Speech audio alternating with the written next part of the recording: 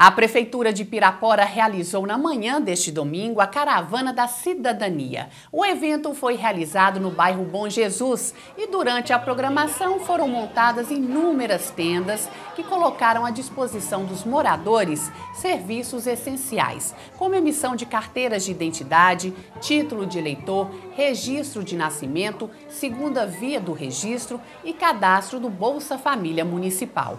No local foi montado um posto da Secretaria Secretaria Municipal de Saúde para aferir pressão arterial e medir glicemia.